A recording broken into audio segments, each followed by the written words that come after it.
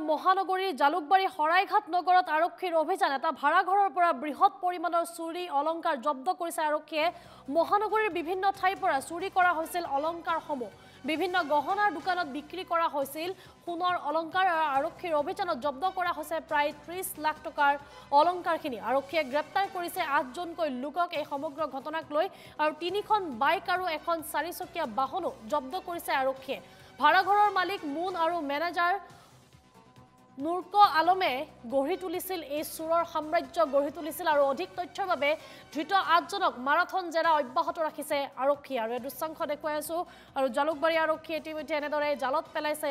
বিভিন্ন সময়ৰ পৰা দীৰ্ঘদিনৰে পৰা বিভিন্ন স্থানৰ পৰা যি আ অলংকাৰ চুৰ কৰি আহিছিল সেই চুৰ কৰা আ অলংকাৰসমূহ জব্দ কৰিবলৈ সক্ষম হৈছে। এটা ভাড়া ঘৰৰ পৰা বৃহৎ পৰিমাণৰ এই চুলি চুৰি অৰং অলংকাৰ জব্দ কৰিবলৈ সক্ষম হৈছে জালুকবাৰী আৰক্ষী।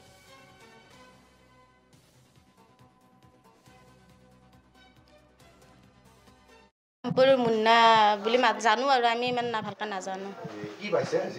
সোণা পিতলৰ বস্তু কিবা এটা বোলে আৰু হীৰা নে কি পাইছে। নজন। মই গম পোৱা নাই এনে পুলিচ আহোঁতে ধৰ ইনকুৱাৰী কৰিলা ৰুমকেইটা এনে চালা চাই পেলাই তাৰপিছত গম পালোঁ। সেইবিলাক আমি গম নাপাওঁ। পিতলৰ বস্তু সোণা ৰূপা এইগিলা হ'ব? মোবাইলত চুৰিয়ে হ'ব কি হ'ব? ইমান বস্তু নাথাকে নহয় ছিংগল মানুহ।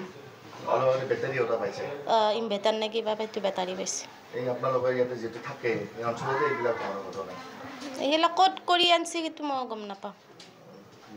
মালিক থাকে ঘৰৰ মালিক? মালিক দামপুৰত। চকীদাৰ আছে ইয়াতে।